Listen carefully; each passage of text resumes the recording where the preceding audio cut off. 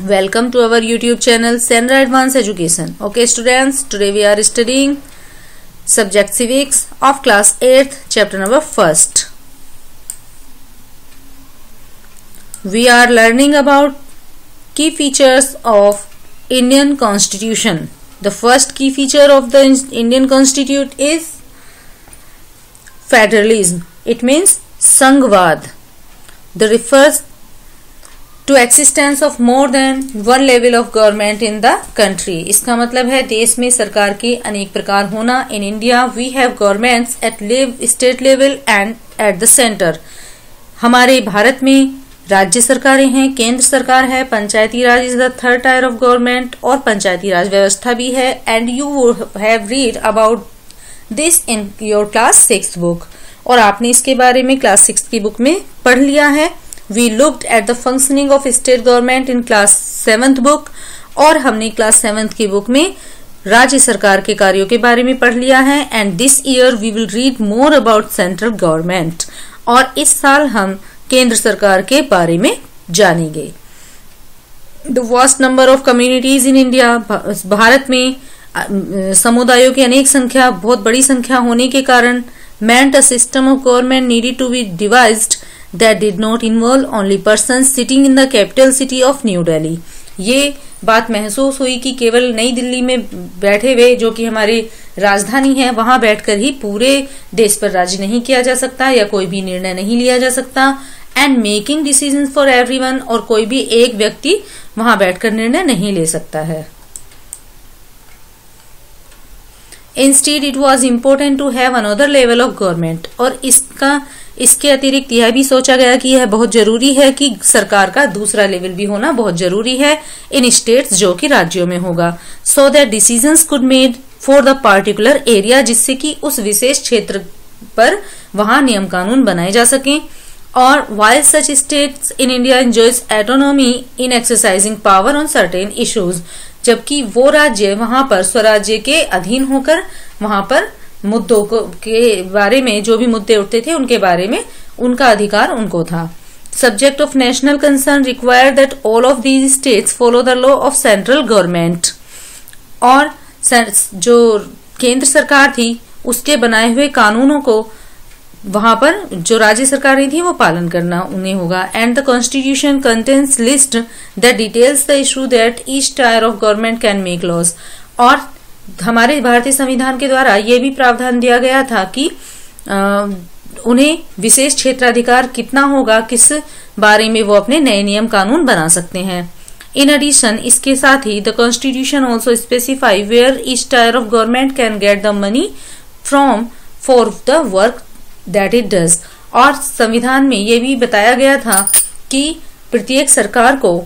चाहे वो राज्य सरकार है या केंद्र सरकार है उसको अब उसके कार्य करने के लिए धन की प्राप्ति कहाँ से होगी? अंडर फेडरलिज्म संघवाद के अंतर्गत the state are not merely agent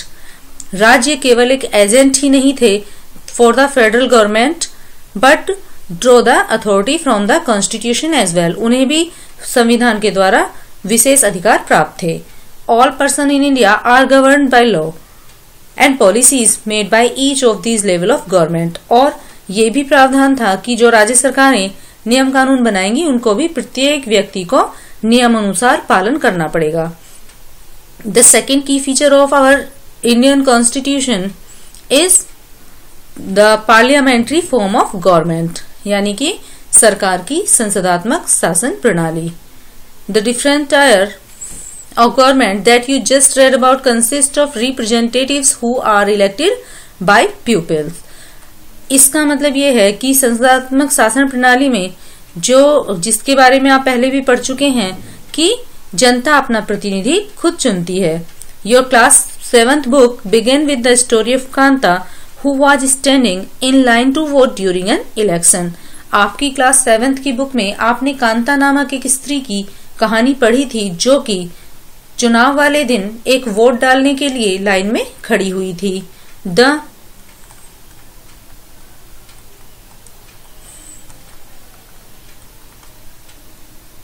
constitution of India guarantees universal adult suffrage for all citizen हमारा भारतीय संविधान प्रत्येक नागरिक को व्यस्क मताधिकार देने का भी प्रावधान करता है। When they are making the constitution of member of Constituent Assembly felt that the freedom struggle had prepared the masses for universal adult service and that this would help encourage a democratic mindset and break the clutches of traditional caste, class and gender hierarchies. और जब हमारा संविधान बनाया जा रहा था तो संविधान सभा के जितने भी सदस्य थे उन्होंने इस बात को महसूस किया कि स्वतंत्रता संग्राम के चलते जो इतनी बड़ी जनता है इसके लिए एक विशेष मताधिकार होना चाहिए जैसे कि व्यस्क मताधिकार का उन्होंने प्रावधान रखा एंड दिस वुड हेल्प और उन्होंने सोचा कि इससे सहायता मिलेगी लोकतंत्र को एंकरेज करने के लिए या बढ़ावा देने के लिए और प्रत्येक व्यक्ति का माइंडसेट होगा उसको दिमाग में ये बिल्कुल साफ़ क्लियर होगा कि break the clutches of traditional caste की इससे जो पारंपरिक चलते हुए दख्यानुसी जातिवाद है और क्लास और जेंडर हायर चीज़ है जो ये आ, क्लास और जेंडर हायर चीज़ है, उनको दूर किया जा सकता है। हायर चीज़ मतलब जो पदानुक्रम है कि बड़े, छोटे की जो भावना है, जातिवाद के अंतर्गत वो सारी खत्म हो जाएँगी।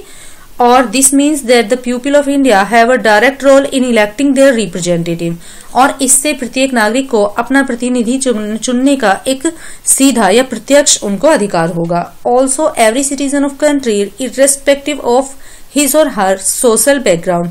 और इसमें प्रत्येक व्यक्ति को खड़े होने का अधिकार भी होगा, चाहे वो किसी भी सामाजिक बैकग्राउंड से, पृष्ठभूमि से बिलोंग करता हो। Can also contest in election उसे चुनाव में मत देने का भी अधिकार होगा और खड़े होने का भी। These representative are accountable to people और ये जो प्रतिनिधि होंगे, ये जनता के प्रति उत्तरदायी होंगे। You will read more about why representation is crucial to democratic functioning in unit two of this book आप इस बुक के सेकेंड यूनिट में इसके जो प्रतिनिधित्व है उसके महत्वपूर्ण कार्यों के बारे में कि उसका डेमोक्रेटिक फंक्शनिंग उसके लो, लोकतांत्रिक समाज में क्या दायित्व हैं उस सब के बारे में आप यूनिट सेकंड में जानेंगे। Okay students here is the next passage separation of powers यानी कि शक्तियों का बंटवारा। इसके बारे में हम नेक्स्ट पार्ट में जानेंगे और सीखेंगे। Thanks for being with thanks a